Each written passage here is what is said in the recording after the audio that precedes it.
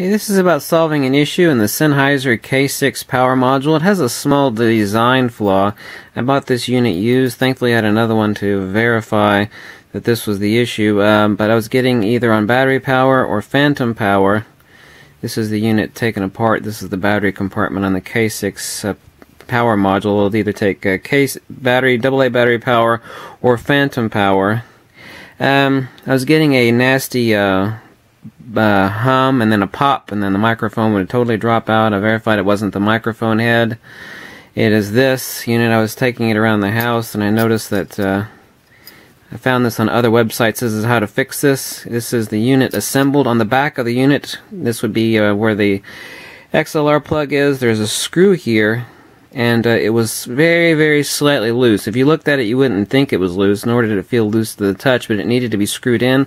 It was improperly grounded. When I put my finger on the uh, on the screw head while I was uh, carrying around the mic, I noticed the nasty hum and the pop. It was an issue either on battery or phantom power, so it didn't matter. So it was a grounding issue.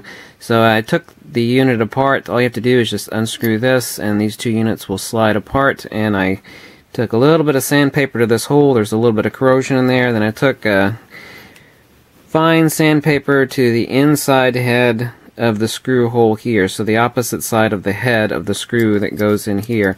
I would recommend that after you do that, that uh, once you reassemble it to prevent corrosion, this is a small design flaw from Sennheiser you should do is after you reassemble it and fix that issue is put a piece of tape over here so no moisture can get in. Obviously moisture can get in from the entire unit, but is moisture collected underneath the head and it was actually on the head of the inside of the screw. It was very, very slightly loose and it was also on the inside of the hole for, you can see right there where I sanded it right on the inside the hole where it actually uh, makes contact. So this is the Sennheiser K6 power module. Either takes AA battery for onboard power or uh, phantom power. So that's how you fix the nasty hum, buzz, pop issue. It was just a really, really nasty hum.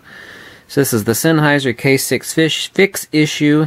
What it is is a grounding issue from the screw. Is a little design defect. What they should have done uh, in assembly at the factory.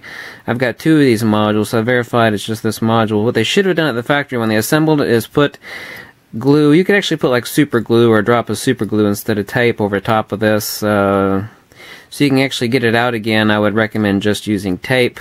Actually, what they if they they could have actually fixed this issue by taking this shitty little sticker right here and putting it over top of the screw head. So they actually, when they assembled it, when they put this little stupid sticker, they just could have put it over top of the screw head. That would have fixed the issue as well. oh well. Um, Definitely a design flaw, unquestionably, so that fixes the issue on the Sennheiser K6 power module. Thanks.